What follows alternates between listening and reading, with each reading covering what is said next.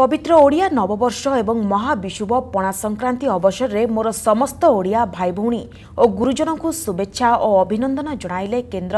শিক্ষামন্ত্রী ধর্মেন্দ্র প্রধান সে ট্যুইট করে লিখিছন্তি মহাপ্রভু শ্রী জগন্নাথଙ୍କ আশীর্বাদରୁ ନୂଆବର୍ଷ ସମସ୍ତଙ୍କ ପାଇଁ ଆନନ୍ଦ ଓ ଉଲ୍ଲାସର ବର୍ଷ ହେଉ ବୋଲି କହିଛନ୍ତି